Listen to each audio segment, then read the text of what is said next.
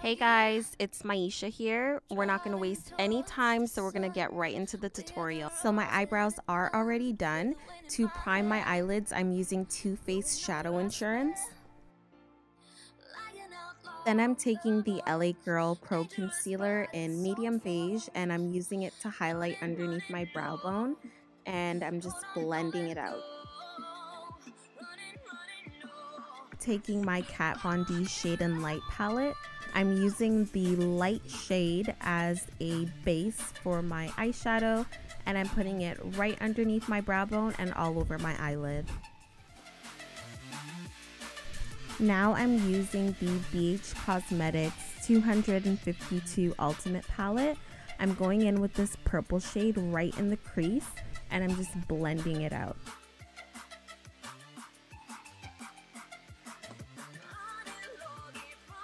Then I'm going to take this magenta pink shade and I'm going to apply it right over the purple inside my crease and I'm going to blend, blend, blend it out.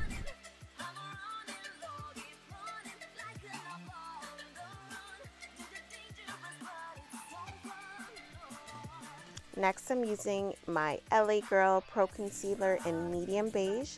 And here I'm carving out um, my eyelid for my cut crease.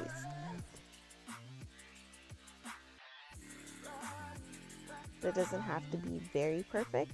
And if you see, I got some concealer over my crease, so I just used shadow to clean it up. Next, I'm using the Morphe 35U palette. I'm going in with this peach color right in the corners of my eye. Um, and I'm just really packing that shadow on there to make sure that it's it stands out. And next, I'm taking the Urban Decay electric palette. The color is Savage. It's this pretty bright pink, and I'm just gonna take it and put it right in the middle of my crease, slightly over the peach color, just to blend it in so it looks seamless. Maybe guilty but proud. Now I'm an outlaw. Now I'm going in with the Morphe 35U palette and I'm using this bright red. Um, it's kind of a pink shade and I'm just applying that on the ends of my eyelid now. And you just want to keep packing it on to make sure that the color is nice and intense and as dark as you can make it and blend it into the pink from the electric palette. So I'm just working it in, packing it on, and really blending it now I'm taking an angled brush and I'm using this dark purple shade from the same Morphe palette and I'm just intensifying the crease. So I'm pretty much creating a harsh line right in the crease. Now I'm using the exact same shade but instead I'm using a fluffier brush and I'm blending out the crease. I'm using MAC Into the Well eyeshadow for eyeliner and this is what I'm using to create a wing. Sometimes I have like good wing days where it goes on really nice and this day I was definitely having a struggle wing day. Like I just couldn't get the angles right.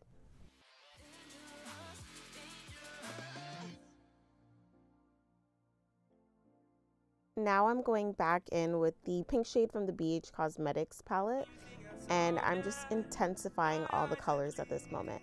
So I'm blending it out so it's nice and seamless with the color that's right underneath my brows.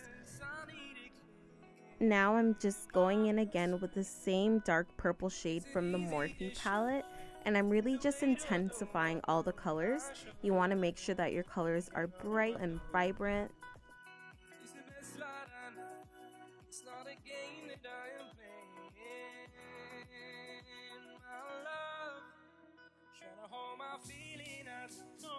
To apply the gems, I start by dipping my brush inside of the glue. I then use the brush to pick up the gem from the back. And then I position the gem on the place of my eye where I want it. I use my finger to press the gem down. It slides right off the brush, and then I just use the back of the brush to press it down on my skin. And again, so I dip the brush in the glue, I pick up the gem from the back, I position it on my eye where I want it. Then I use my finger to press the gem down onto my skin where I want it. I just kind of had a fail here. It didn't go down, but you just try it right again. You use your finger and then you use the back of the brush to press it down into the skin and put it into the position it needs to be in. It dries super duper fast. I created a design using big and small gems, alternating the colors with the pink and silver. You can get creative and do anything you want. So my scars are all concealed and now I'm applying my foundation, which is like three shades too light for my face. Um, I mixed two shades together and it was a terrible mixture. It was supposed to be good and it didn't work out. Um, I think I put too much of the light shade. Anyways, I'm speeding through my foundation. I wanted this tutorial to be focused mainly on the eyes. Um, I'll create a separate video with my foundation, highlight, and contour routine. But for now, I'm just going to speed through the whole thing. I have my foundation on, I'm applying my highlight, um, and I'm just blending that out right now.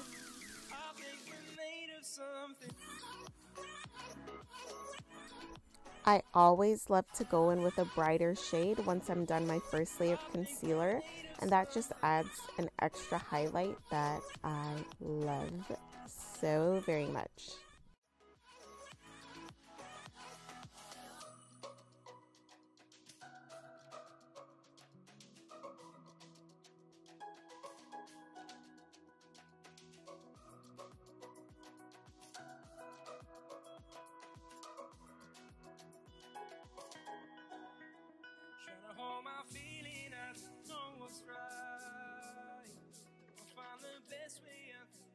Now I'm setting my highlight with my Sacha Buttercup. I'm allowed to tell you guys a little bit of what I'm doing. I know I'm not going in depth and in detail with um, my highlight and contour, but I'm using my Anastasia contour kit in medium and tan and I am sculpting my cheekbones and giving myself a smaller forehead my, my forehead's not that big, is it? Okay, let me not ask anyway. Um, I'm sculpting my cheekbones and I'm giving my face some dimension because it was flat like a pancake. And now I'm giving myself a nose because I do not have a nose. I'm just kidding. I am contouring my nose.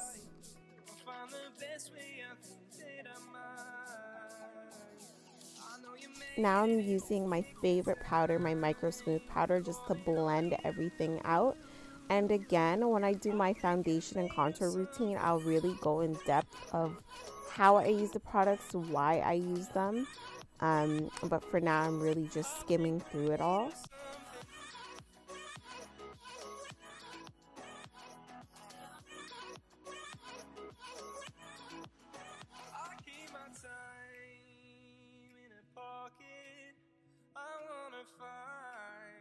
Okay, so I got my ColourPop Lippies, a very small brush, and I am drawing in my hearts.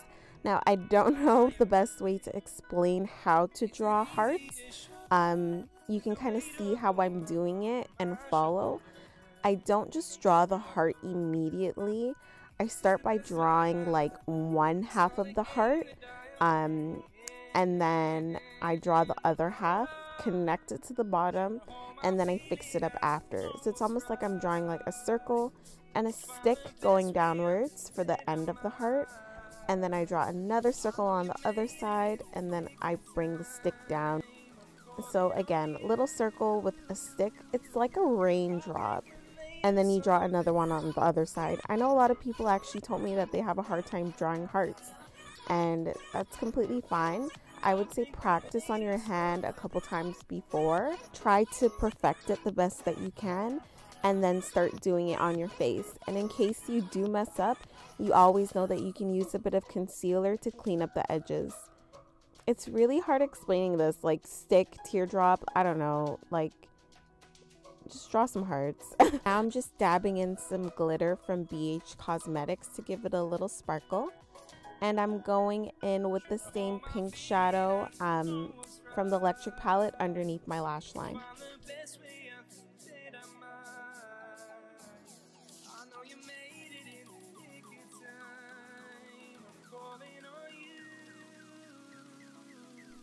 Okay beauties, that is it for my tutorial. I hope you all really enjoyed it and you learned something new. Please don't forget to subscribe to my channel, give this video a thumbs up, and also leave a comment down below.